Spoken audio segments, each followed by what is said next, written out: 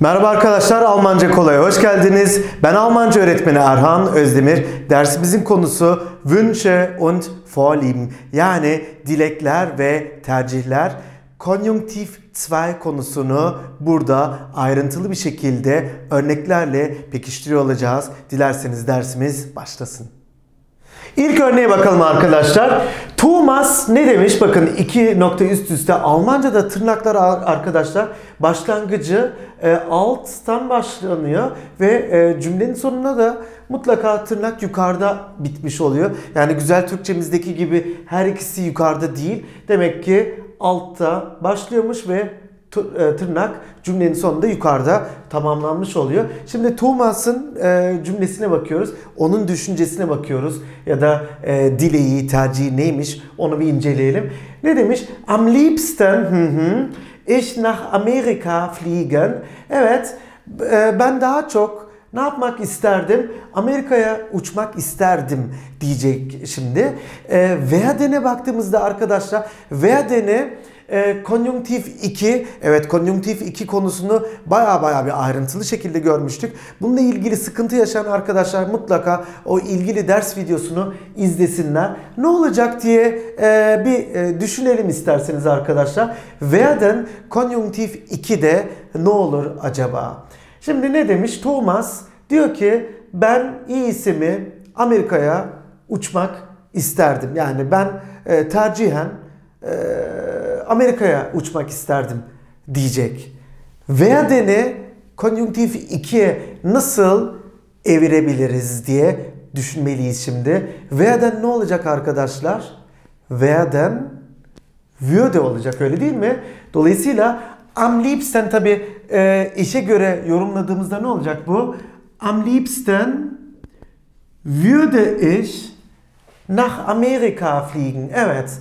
Ben Amerika'ya gitmek isterdim. Yani en arzu ettiğim şey buydu. Bu olabilirdi. Ee, Tabi güzel Türkçemizde birebir örtüşmüyor. Çünkü burada am liebsten neydi arkadaşlar? Gern, liebe, am liebsten. Burada bir e, komparatif, superlatif konusunda ayrıntılı görmüştük. Güzel Türkçe'de öyle demeyiz. Ne deriz? Amerika'ya gitmek isterdim deriz. Ama kalkıp da burada e, daha çok demeyiz. Ancak Almanca'da bunu e, söylememiz gerekiyor ki çünkü burada hani bu benim arzu ettiğim, e, planladığım ya da tercih ettiğim nokta. Bunu vurgulamak adına burada superlatifi kullanmış oluyoruz. Dolayısıyla am liebsten würde ich nach Amerika fliegen demiş oluyoruz. Bunu pekala şöyle de diyebilirdik. Ich würde am liebsten nach Amerika fliegen de olabilirdi. Ee, diğer cümleye bakalım isterseniz. E, Thomas bu bir erkek ismi. Bunu söylemeyi unuttum. Ushi bu da bir kadın ismi arkadaşlar. Ushi ne demiş? Bakalım. Ich will keinen Stress in meiner Firma. Evet herhalde bariz bir şekilde değil mi? Ne demek istiyor bu cümle bize? Ich will keinen Stress. Hiç stres istemiyorum değil mi? Stres istemiyorum. In meiner Firma. Firmamda stres istemiyorum diyor değil mi? So etwas Hı. Für mich nicht in Frage. Evet. Nicht in Frage. In Frage kommen e, olası değil. Olası olma. Yani böyle bir şey e, asla katta olamaz. Böyle bir şey kabul edemem gibi e, bu bir yapı aslında arkadaşlar. In Frage kommen demek ki olası olmak, gerçekleşmek, e, tahayyül bile edilemez gibi bir e, birçok anlamı e, gelmiş oluyor bu arkadaşlar. Yani böyle bir şeyin olması söz konusu bile olamaz. E, belki en doğru çeviri bu olsa gerek. Böyle bir şey söz konusu bile olamaz diyor cümle. Diyor ki ich will keinen Stress in meiner Firma. Firmamda stres istemiyorum. Böyle bir şey so etwas für mich nicht in Frage Evet. Şimdi komeni ne yapacağız? Konjunktif 2'ye göre nasıl yorumlarız? Bunu bir düşünmenizi istiyorum. Evet, Uschi ne demiş? Ich will keinen Stress in meiner Firma. So etwas für mich nicht in Frage. Kommen acaba ne olacak? Kommen'i bir defa ne yapmam lazım? İşe göre ee, ne yapmam lazım? Ee, şey yapmam, pekiştirmem lazım. Çünkü burada mich var değil mi? Benim için böyle bir şey söz konusu olamaz diyeceğiz. Kommen ne olacak arkadaşlar? Käme olacak değil mi? So etwas käme für mich nicht in Frage. Evet. Ee, az önce söylediğim olduğum gibi konjunktif 2 ile ilgili sallantı yaşayan arkadaşlar mutlaka o ders videosunu mutlaka ama mutlaka izlesinler ki emin olun burayı çok daha rahatlıkla yapıyor olacaksınız. Bir sonraki cümleye bakalım isterseniz arkadaşlar. Julia ne demiş? Ich hı hı, für eine kreative Arbeit geeignet. Geeignet sein uygun olmak demek arkadaşlar. Mesela ne diyebiliriz? Ich bin äh, ich bin äh, für ne, ne için uygunum diyelim. Ich bin äh, gut für äh, malen geeignet. Mesela boyama yapmak için uygunum. Yani buna e, bir yeteneğim var gibi de düşünülebilir. Burada da kreative arbeit dediği için ne bu? E, yaratıcı işler değil mi? Kreatif işler için uygunum. Şimdi burada ne diyoruz? Tabi Wünsche und Vorlieben tercihler değil mi? Dilekler, tercihler söz konusu olduğu için ne yapmam gerekiyor? Konjunktif 2 olarak değerlendirmem gerekiyor. Ee, şimdi ben bunu e, yalın halde yazmış olsaydım ben kreatif işler için uygunum deseydim geniş zamanda iş bin derim. Öyle değil mi? Ama e, bu bir e, dediğim gibi bir dilekse, bir arzuysa, bir tercihse konjunktif ikiye evirmem gerekiyor zayını. E, dolayısıyla bu ne olacak diye birazcık şöyle bir düşünmenizi istiyorum. Zayn ne oluyordu konjunktif 2'de? diye şöyle bir düşünelim. Julia ist für eine kreative Arbeit geeignet. Ben yaratıcı bir iş için uygun olabilirdim diyeceğiz. Ne diyeceğiz o zaman? Ich Ich wäre, öyle değil mi? Ich wäre für eine kreative Arbeit geeignet kreatif bir iş için uygun olabilirdim. Evet. Julia örneğini tekrar ele alacak olursak arkadaşlar, Julia kendi hayatıyla, iş hayatıyla ilgili hayal kuruyor ve diyor ki ben yaratıcı bir iş için uygun olabilirim. Şimdi dilerseniz bu görmüş olduklarımızı doğru telaffuzuyla tekrarlayalım. Thomas. Am liebsten würde ich nach Amerika fliegen. Thomas. Am liebsten würde ich nach Amerika fliegen. Uschi, ich will keinen Stress in meiner Firma. So etwas käme für mich nicht in Frage. Uschi, ich will keinen Stress in meiner Firma. So etwas käme für mich nicht in Frage. Julia, ich wäre für eine kreative Arbeit geeignet. Julia, ich wäre für eine kreative Arbeit geeignet. Şunu da hatırlatmakta fayda var arkadaşlar.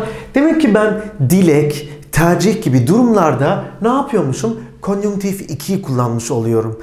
E, çünkü ben konjunktif 2'yi değil e, yani konjunktif 2'deki bu fiilleri kullanmıyor olup da normal bir şekilde kullanıyor olsam ne olurdu bu? Olağan normal bir cümle olacaktı öyle değil mi? Ancak ben konjunktif 2 işin içerisine kattığımda demek ki bu bir tercih, bu bir dilek, istek, arzu ettiğim bir şey anlamına gelmiş oluyor. Dilerseniz dördüncü örneğimizle devam edelim. Burada Markus, evet Markus bu bir erkek ismi arkadaşlar. Ne diyor? Ich glaube, dass man seine Stärke genau kennen. Evet, öncelikle bir anlamlandıralım. Ne diyor? Ich glaube, glaube neydi? İnanmak demek arkadaşlar. Ee, sanmak, e, evet, inanmak, bu duyguyu, bu düşünceyi savunuyor olmak gibi e, anlamlara gelebiliyor. Bakın burada bir dastı cümle görüyoruz dass man seine Stärke, Stärke güçlü olduğun, e, güçlü olduğu olunan e, nokta anlamında Stärke demek ki güçlü olunan nokta demek. Kennen bilmek demek arkadaşlar. Genau kennen tam manasıyla, genau tam anlamıyla anlamına gelen bu bir pekiştireç arkadaşlar.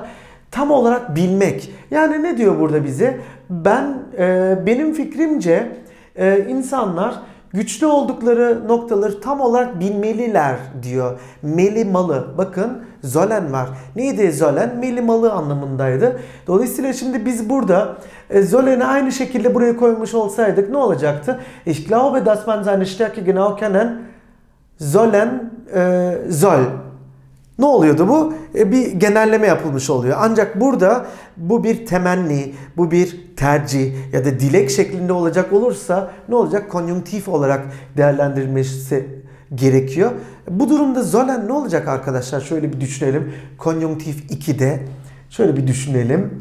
Ich glaube, dass man seine Stärke genau kennen.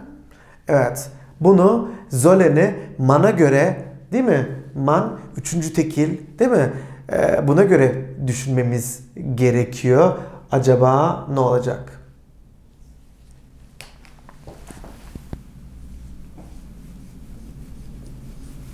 Sollte, öyle değil mi? Ich glaube, dass man seine Stärke genau kennen sollte. Değil mi? Ee, bakın burada şöyle bir anlamda belki çıkabilir siz. Ee, tabii Türkçe'de birebir e, anlamlandıramayabiliyoruz. Ee, birebir karşılık bulamayabiliyoruz ancak Şöyle bir şey de olabiliyor arkadaşlar bu anlam itibariyle. Ee, sanırsam insanlar güçlü ol, e, oldukları yönünü bilmelilerdi gibi düşünülebilir. Ancak burada e, dediğim gibi konjunktif 2 olduğu için e, düşünmeliler gibi geleceğe dair ya da bir genelleme yapılmış oluyor. Dolayısıyla konjunktif 2 hani güzel Türkçemizde birebir böyle bir karşılık bulamayabiliyor arkadaşlar. Ee, ancak siz tabi B2 noktasında olduğunuz için bunun aradaki bu dil dinamiğini, Almancadaki bu dil dinamiğini eminim ki e, hele ki konjunktif 2 ders videosunu izledikten sonra çok daha iyi e, anlıyorsunuzdur diye tahmin ediyorum. E, beşinci örnekle devam edelim. Franziska, evet burada bir kadın ismi arkadaşlar. Ne diyor? Vermutlich, hı ich mit meinem Notendurchschnitt eine Zusage für einen Studienplatz in Philosophie. Evet. Burada ne diyor acaba? Evet, Franziska e, ne diyor? Vermutlich olasılıkla. Evet, bir olasılık, bir ola, olasılıkla ich mit meinem Notendurchschnitt Notendurchschnitt arkadaşlar not ortalaması demek. Evet, büyük olasılıkla ben e, not ortalamamla aynı Zusage Zusage onay demek arkadaşlar. Ee, yurt dışında olay e, şu arkadaşlar. Siz eğer e, başarılı bir not aldıysanız, e, not ortalamanız yüksekse e, üniversitelerden size teklif geliyor ve kabul e, gördüğünüzde o e, üniversiteye e, dahil oluyorsunuz ve öğrenci olarak kabul görüyorsunuz. Bu cümle de oraya e, onu anlatmaya çalışıyor. Ne diyor? Vermutlich ich mit meinem Notendurchschnitt eine Zusage für einen Studienplatz. Zusage für einen Studienplatz, onay, niçin onay? Studienplatz, yüksek öğrenim yeri. Yani üniversiteyi kastediyoruz burada arkadaşlar. Studienplatz'la üniversite eğitimi kastedilmiş oluyor. Üniversite kastedilmiş oluyor. Filozofi, felsefe demek arkadaşlar. Ne diyor bu cümle demek ki? Büyük olasılıkla benim not ortalamamla değil mi Francisca ne demek istiyor? Yani benim iyi bir not ortalamam var. Büyük olasılıkla bu not ortalamasıyla e, bir üniversiteden ben bir onay alacağım. Alırım anlamına gelen bir cümle. Bekommen elde etmek, almak anlamında arkadaşlar. Şimdi ben bekommen e, fiilini ne yapmam gerekiyor? Konjunktif 2'ye göre uyarlamam gerekiyor. Dolayısıyla vermutlich olasılıkla elde edeceğim. Bakın geniş zamanda yapmış olsaydım ne olurdu bu? Bekomme olurdu değil mi? Vermutlich bekomme ich. Ancak bu durumda konjunktif 2 olmazdı. Konjunktif 2 yaptığımda ne olacak diye ben size bir düşünme e, süresi vereyim.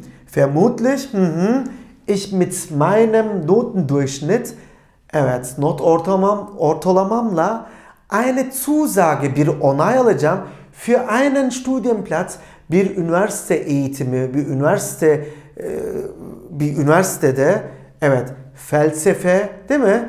Felsefe okutulan, felsefe bölümü e, nin olduğu bir üniversiteden bir onay alacağım, alırım gibi bir temennide, bir öyle değil mi? Bir dilekte, bir temennide, bir tercihte bulunuyor Francisca. Acaba bu ne olacak arkadaşlar?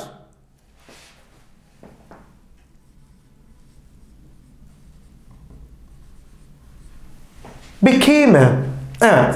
Ne olacak demek ki? Vermutlich bekäme ich mit meinem Notendurchschnitt eine Zusage für einen Studienplatz in Philosophie demiş oluyoruz. Sonraki cümleye bakalım arkadaşlar. Clara, evet Clara bu da gene bir kadın ismi. Ne diyor? Ich hı hı, nach dem Abitur ins Ausland gehen. Evet. Abitur. Evet. Abitur'da kısaca şöyle bahsedelim arkadaşlar. Ee, abitur e, Almanya'da ya da e, Avrupa ülkelerinde geçerli olan bir sistem bu arkadaşlar. E, liseyi bitirdikten sonra bütün e, derslerden e, bir kurulun karşısına geçiyorsunuz ve her dersten e, bu 3 e, ya da 4 yıl içerisinde görmüş olduğunuz e, söz gelimi ne olabilir bu? İşte fen bilimleri olabilir. Fen bilimleriyle ilgili 2 saatlik bir sınava tabi tutuluyorsunuz. Bir kurul karşısında ve kurul var ve siz varsınız sadece. Bu e, Türkiye'deki e, konservatuvar sınavları gibi düşünülebilir. Mülakat diyebiliriz sanki. Mülakat türevinde bir şey ancak mülakattan çok daha zor bir sınav. Çünkü abitur verdiğinizde ancak üniversiteye gidebiliyorsunuz. Abitur e, evet bunu veremediğinizde üniversite yolları kapanmış oluyor. O anlamda çok çok önemli bir e, lise bitirme sınavı diyelim kısaca arkadaşlar. Ee, burada ne diyor Clara? Ich hı hı, nach dem Abitur ins Ausland gehen. Evet bu sınavı verdikten sonra ne yapabilirim? Yurt dışına e, giderim. Evet böyle bir temennisi var, böyle bir tercihi var.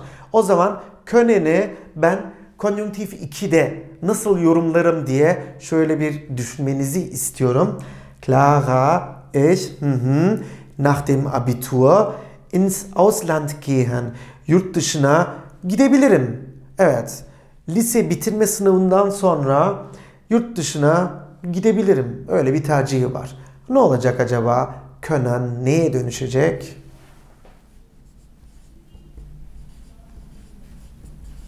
Könnte olacak arkadaşlar.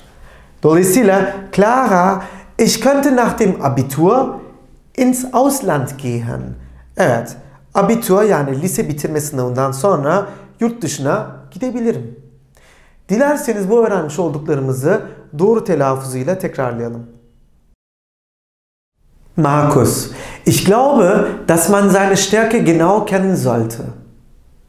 Markus, ich glaube, dass man seine Stärke genau kennen sollte.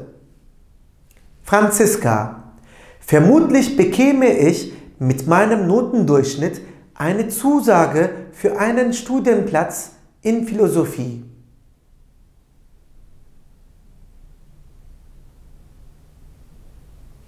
Franziska, vermutlich bekäme ich mit meinem Notendurchschnitt eine Zusage für einen Studienplatz in Philosophie.